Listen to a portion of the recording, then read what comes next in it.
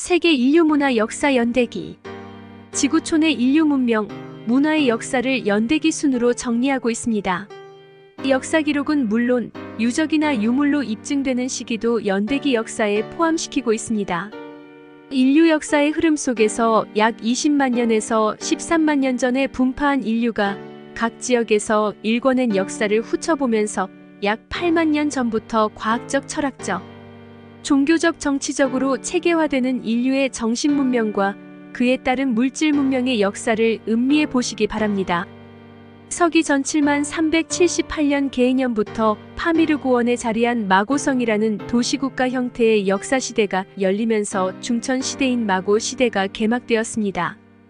여기서 역사 시대라 함은 문자와는 무관한 인간의 정신적, 철학적, 정치적 공동체 생활이라는 의미에 중점을 두고 있습니다. 마고성의 마고 시대는 서기 전 7만 378년 이전에 약 4만 3200년에 이르는 선천 시대의 첨부를 계승하였다고 합니다. 여기서 첨부란 하늘 뜻, 하늘의 뜻에 부합한다는 의미로서 우주원리 내지 천지자연의 이치를 가리킵니다. 마고성의 주제자는 마고로서 후대의 삼신마고 또는 마고할미로 불리며 마고를 보좌하는 두 딸은 궁이와 소이라고 합니다. 마고의 마고성 시대에 이미 음양 태극 즉 양음에 해당하는 율려 체계가 있었으며 사천이는 양류를 맡고 사천년은 음녀를 맡았습니다. 그리고 사태극이라 할 수 있는 사상으로 태양, 소양, 소음, 태음 해당하는 기와수토라는 소위 사원소가 사방에 적용되는 원리가 있었습니다. 또한 오행에 해당하는 오음 체계와 칠정과 상관되는 칠조의 원리가 있었습니다. 아마도 칠조는 오음에서 나아가 음악의 화음적 완성을 위하여 필요한 체계로서 정립된 것이라 보입니다. 예를 들면 음계로서 보면 도, 레, 미, 솔, 라의 오음에 파, 시가 더해져 칠음이 되는 것과 또 장조와 단조의 오도음 위에 칠도음으로 화음의 완성을 의미한다고 보입니다. 서기 전 7만 378년 개해년부터 4만 3200년이 흐른 뒤인 서기 전 2만 7178년 개해년부터 밤낮이 바뀌는 시기가 되어 파미르고원 마고성 시대의 후기에 해당하는 후천의 역수가 시작되었습니다. 이때부터 마고의 후손 중에서 장손에 해당하는 황공씨가 화백의 장으로서 다스리는 화백시대가 시작되었습니다. 이 마고성 후천 시대에 마고성의 중앙에는 제천단에 해당하는 천부단을 두고 사방으로는 이궁 이소의 사방궁소, 즉 사보단을 동서남북에 두어 제천단 및 막루 기능을 하였습니다. 사시족의 화백시대로서 황공씨, 백소씨, 청공씨, 흑소씨의 시족이 북서, 동남을 각각 맡아 다스린 것입니다. 마고성의 모습은 세 겹의 물길로 만든 해자와 사방에 각세 개씩 합 12개의 성문을 두어 관문이 역할을 하며 내부와 외부의 출입을 통제하였습니다. 이 마고성의 형태는 곧 플라톤이 언급한 아틀란티스 모형과 일치하는 것으로 됩니다.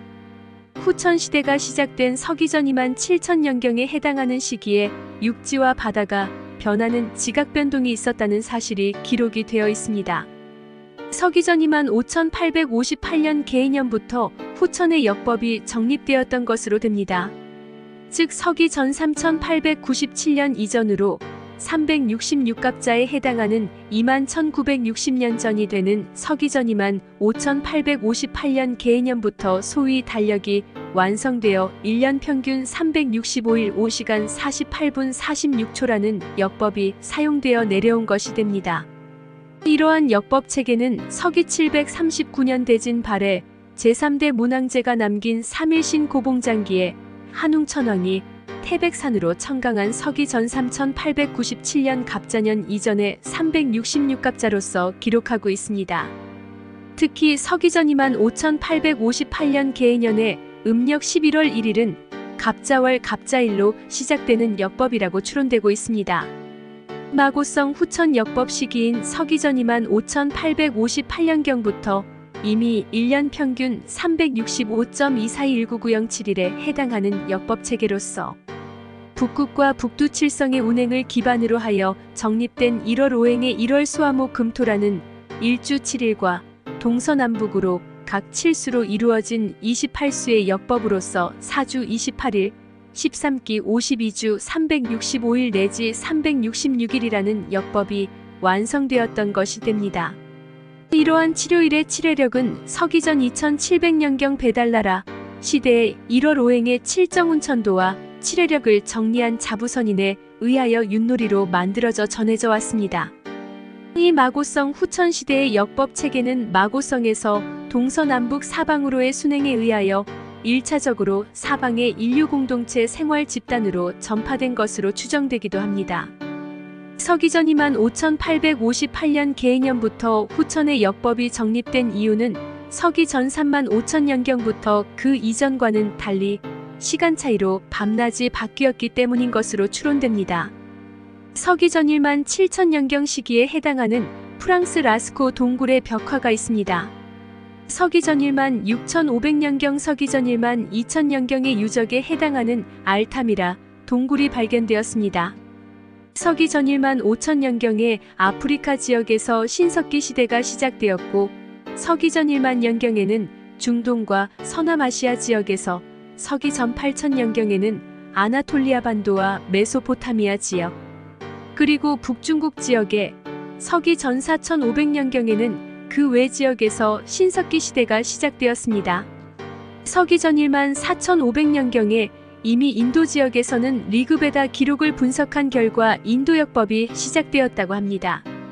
물론 이 인도 역법이 인도 지역의 독자적 발생인지 아니면 마고성에서 시행되던 후천 역법이 전파된 것인지는 현재로서는 불명입니다.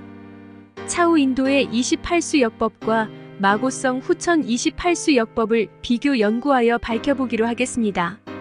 서기전 1만 3천년경 한국의 선대 문명으로서 흑피옥, 충주 소로리 탄화벽시 28수 유판 고인돌이 발견되었습니다. 서기 전 1만 3천년경 우크라이나 지역에서 만자 문양이 출현하였습니다. 처음에는 중앙에서 밖으로 복잡하게 연결된 만자 문양에서 점점 간소화되어 가는 형태가 됩니다. 이는 북극에서 북두칠성으로 이어지고 이 북두칠성에서 다시 밖으로 수많은 별자리와 이어지는 것을 상징적으로 나타낸 것으로 추정됩니다.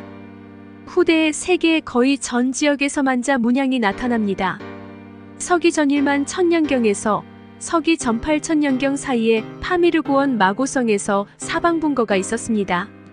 아마도 기후변화로 인하여 식량난이 발생한 것이 되는데 서기 전 1만 천년경의 포도로 인한 오미의 난이 시작되어 점점 심각하게 되면서 서기 전 8천년경에는 포도나무 뿌리가 다 뽑히는 등 결국 회복할 수 없을 정도로 마고성이 무너지고 황폐화되어 분거하지 않으면 안 될 상황에 이르렀던 것이 됩니다. 서기 전 8천년 이전 즉 서기 전 1만 년경에 이미 오미의 난을 촉발한 백소시족의 지소씨가 책임을 느껴 먼저 동쪽 문을 나가 황하 중상류 지역에 정착하였던 것이 되고 나중에 일부는 다시 마고성으로 되돌아왔으나 마고성이 거의 완전히 파괴되는 바람에 다시 다른 곳으로 이동한 것이 됩니다.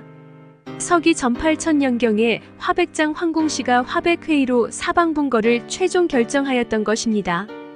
황공씨는 사방분거하는 제족에게 원래 하나임을 증거하는 첨부를 신표로 나누어 주었습니다. 신표로 나누어준 첨부는 원방으로서 무국을 상징하는 원형의 둥근 거울, 이극 즉 음양태극을 상징하는 방울이었던 것으로 추정됩니다.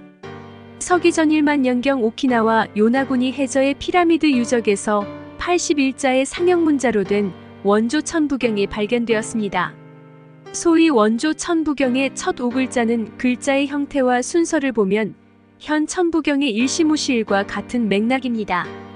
서기 전 1만 년경의 리그베다의 기록 분석에 의하면 북인도의 하스티나프루 지역에 야야티 왕이 출현하였으며 그 아들 투르바수는 아나톨리아 반도로 진출하였다고 합니다. 서기 전 9600년경에 아나톨리아 반도 남부의 괴베클리 테베의 거성문화 유적이 형성되었습니다. 물론 서기 전 1만 년경으로 보기도 합니다. 서기 전 8천년경의 바레만 유역의 요령성에 신석기 시대에 해당하는 신랑 문화 지역이 형성되었습니다. 또 서기 전 8천년경에 해당하는 홍산 유적에서 상형 문자가 새겨진 옥판이 발굴되었으며 원조 1월호봉도에 해당하는 부조의 옥판도 발굴되었습니다. 인도 역사 연구자들에 의하면 서기 전 8천년경에 타밀 문자가 출현하였다고 추정합니다. 인도의 리그베다의 기록을 분석한 결과 서기 전 7500년경 이전에 인도 지역에 28수의 역법이 있었으며 이때부터 27수의 역법으로 변경되었다고 합니다. 서기 전 7200년경에 파미르고원의 동서남북으로 천산주 즉 천산, 몽골, 만주, 한반도 등지로 이동하고 월식주 즉 수메르 지역, 흑해 지역 등지로 이동하고 운해주 즉 티벳고원, 황하와 양자강 지역으로 이동하고 성생주 즉 인도 지역으로 각 사방 분거함으로써 이때 거의 완전히 정착이 이루어졌습니다. 서기 전 8천년경부터 약 천년에 걸쳐 사방에 정착이 이루어진 것입니다. 아마도 이때부터 마고성에서 사용하던 언어가 지역적으로 분리되면서 교차거와 교차거에서 변이된 형태인 굴절어로 분화가 일어나기 시작하였던 것으로 추정됩니다. 서기 전 7200년경 원시 트랜스유라시아어가 시작되었습니다. 그 중심 발원지는 서기 전 7197년부터 시작된 옛 한국의 주요 중심 도시인 홍산 지역이 됩니다. 트랜스유라시아어는 아시아와 유럽에 이르는 언어 집단을 가리키는데 알타이어계와 우라러계로 이루어지는 언어 집단이 됩니다. 합쳐서 소위 우랄 알타이어는 교차거기에 해당합니다. 인도의 리그베다 기록의 분석에 의하면 서기 전 7200년경에 아스비니 시기가 시작되었습니다. 서기 전 7197년 갑자년에 옛 한국이 건국되었습니다. 마고의 장손으로 기록되는 황공시가 서기 전 6100년경까지 약 천년에 이르는 한국 전기시대를 시작한 것입니다. 한국 시대에는 대대로 장자는 정치를 맡고 차자와 삼자는 무리를 이끌고 사방으로 전교하는 순행을 맡았습니다. 이 순행 제도는 배달나라 시대 후기인 약 300년간 뜸해졌다가 서기전 2200년경 당군 조선 초기에 다시 시작되었습니다. 옛 한국 시대의 연맹국으로서 12항국이 있었습니다. 주로 파미르 고원의 동쪽에 위치하고 있었는데 12국 중 3국은 파미르 고원의 서쪽과 남쪽에 위치하고 있었던 것으로 됩니다. 지역적으로 많이 떨어져 세워진 3국으로서 1군국은 우수리강이 있는 연해주 지역에서 서북으로 약 5만 리 떨어진 서북 유럽, 서쪽으로 파미르 고원을 넘어 약 2만 리 떨어진 수메르 지역의 우르국 우르크, 파미르 고원의 남쪽에 위치한 인더스강 유역의 사나바국입니다. 여기서 일군국은 현재 핀란드 또는 스톤헨지가 세워진 영국 땅에 소재하였던 것으로 추정되며 우르국은 우르크와 우르라는 지명이 있는 수메르 지역이 되며 사나바국은 지금의 인더스 강 유역에 있는 하라파가 됩니다. 사나바라는 말이 시간이 흐름에 따라 하라파로 변음된 것으로 됩니다.